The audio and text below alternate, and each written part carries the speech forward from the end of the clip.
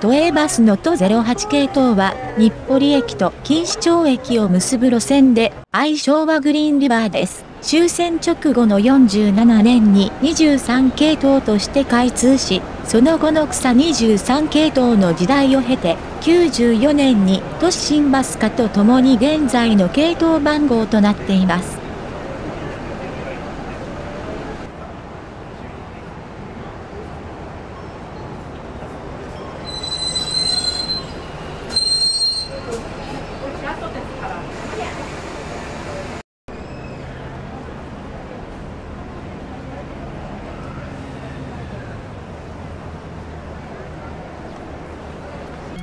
と、今日の動画は都08系統ですね。都市新バスの最後の路線で都08になってます。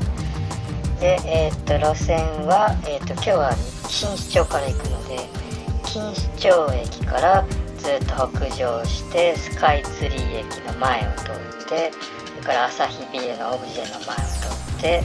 で東武浅草駅から北上して奥浅草を通って下谷三丁目を通って日暮里駅に至る路線です、えー、都市新バスということで非常な、えー、っと頻繁運転となってます。